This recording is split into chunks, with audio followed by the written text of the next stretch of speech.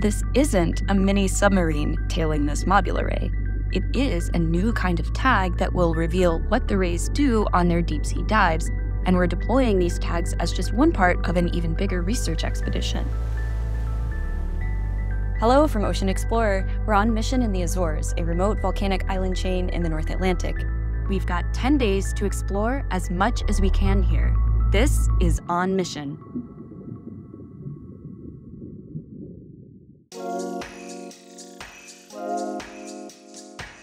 The Azores are part of the world's longest mountain range, the Mid Atlantic Ridge. There are hundreds of underwater mountains in the Azores. They're called seamounts and they are bursting with life, but they aren't well explored. So we've got a team of scientists from the University of the Azores to investigate the life here from the surface to the deep. Here's how we do the science.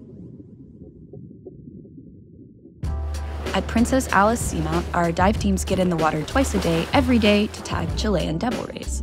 The devil rays are normally solitary, migrating vast distances across the open ocean. But here, they gather in huge numbers every summer. This seamount is one of the only places in the world where this happens, which makes this the perfect place to study them. Even though they're a familiar sight at the ocean's surface, we don't actually know that much about them. These devil rays are some of the deepest divers of all the sharks and rays in the world, and we only figured that out 10 years ago. George is part of the science team who made this discovery. They don't just chill at the surface, they can dive to almost 2,000 meters depth. We're talking about freezing temperatures of 3 degrees Celsius. Uh, we're talking about a tremendous pressure of about 200 kilos per square centimeter. They could be diving for food, and that's the question George and his team hope to answer by tagging the rays.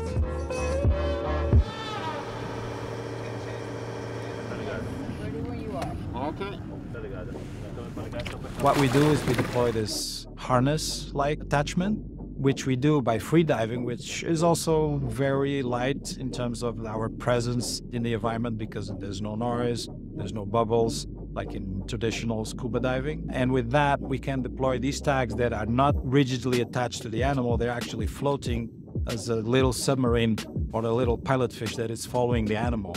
They can be programmed to release after just a couple of hours or a couple of weeks. These tags aren't just telling us the animal's location, they're multi sensor tags that can show us potential hunting behaviors, like speeding up or circling around to search for prey. Just came back from a very successful day um, out with the mobula rays. There was about uh, 17 to 20 mobula rays. Got another couple of tags and tagged a whale shark. A whale shark. Whale shark came out of the blue, swam straight towards us, and George, the scientist, swam down and tagged it. A very successful day. Very good day. Nice. Good job, guys. This was exciting because, unlike the rays, whale sharks don't show up here super consistently. They're a bit more unpredictable. You know what else is unpredictable? The weather. We found ourselves dealing with some swell, so we waited out the weather in calmer waters near one of the islands, and that put us in a shark nursery.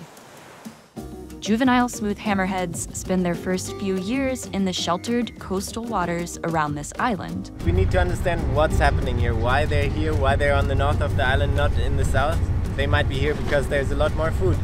They might be here because the surface temperatures are different. Once they reach a certain size, age, we don't know what the exact trigger is, um, they start migrating offshore. And so this, this is exactly why it's crucial, because this is their preparation for the, for the rest of the life. This drives their competitiveness. So how do you figure out whether the sharks are here for food or something else? Rob's got one way. You mow the lawn with a sonar and a drone. We stick this thing in the water, this is the sonar system, and cover the area by sweeping back and forth, like you do with a lawnmower. The sonar tells us where there are schools of fish and how deep they are. Then Rob flies the drone along those same lines, looking for the sharks.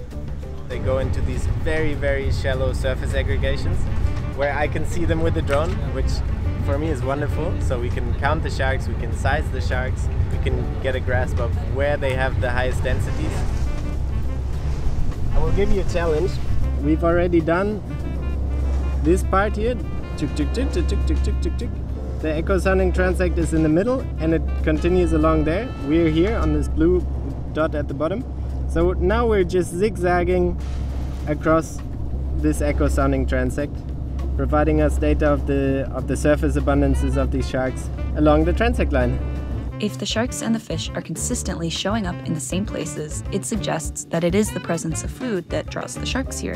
And if that's the reason they're here, then protecting this area from fishing is a good way to protect this vulnerable species. Meanwhile, the deep sea team was busy exploring coral gardens around an underwater volcano.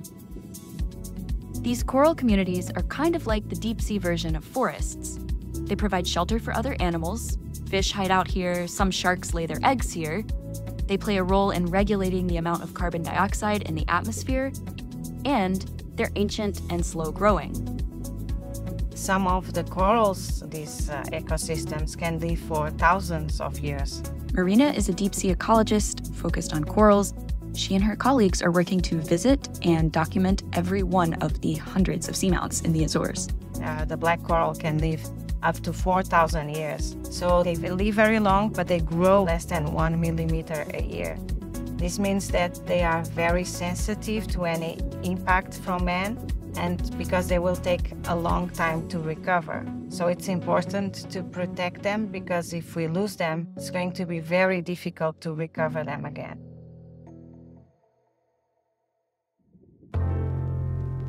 We are trying to answer different questions why do they exist in a certain area and not in other areas? How many species there are associated with these ecosystems? Are they new to science?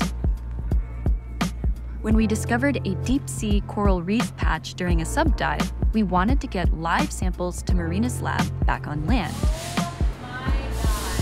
Because the corals are highly adapted to their deep sea environment, we needed to move fast and get them into specialized tanks. In these tanks, Marina will simulate future ocean conditions and study how the corals respond.